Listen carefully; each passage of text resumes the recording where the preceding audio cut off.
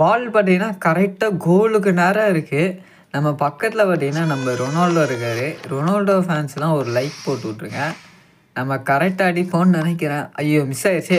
அடி மூஞ்சிலே அடிச்சிட்டாருங்க. ஐயோ சரியான அடிங்க.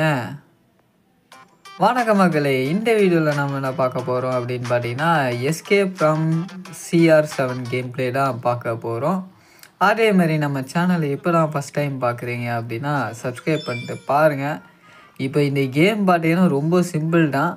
நம்ம நேற்று பார்த்தீங்கன்னா ஐசோ ஸ்பீடுக்கான கேம் ப்ளே பண்ணியிருப்போம்.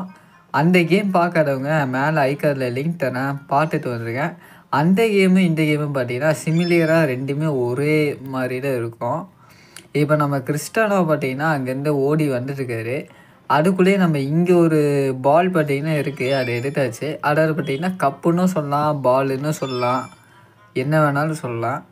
அதேமாரி இந்த வீடியோக்கு ஒரு லைக் பண்ணி விட்ருங்க இப்போ இந்த கேம்லாம் பார்த்தீங்கன்னா நம்ம ஈஸியாக ரெண்டு நிமிஷத்தில் முடிச்சிடலாம். அவ்வளோ சின்ன ஒரு கேம் தான் இருந்தாலும் பார்த்தீங்கன்னா ஃபன்னாக இருக்கட்டுமே அப்படின்ட்டு கேம் போட்டிருக்கேன்.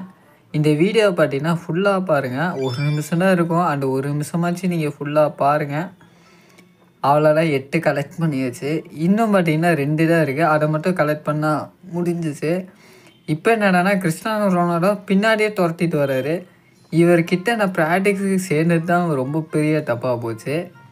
நல்ல வேலை இப்போ இங்கே ஒன்று இருக்குது இதையே எடுத்துக்கலாம். இப்போ அந்த கார் கிட்ட ஒன்று இருக்கும் அதை மட்டும் எடுத்தால் எஸ்கேப் ஆகிடலாம் நம்ம ஒரு வழியாக பார்த்தீங்கன்னா கிறிஸ்டனோ ரொனால்டோவோட புக்காட்டி காரில் எஸ்கேப் ஆகிட்டோங்க அவர் அங்கேருந்து கார் போனது கூட கவலைப்படாமல் ஆடிட்டுருக்காரு.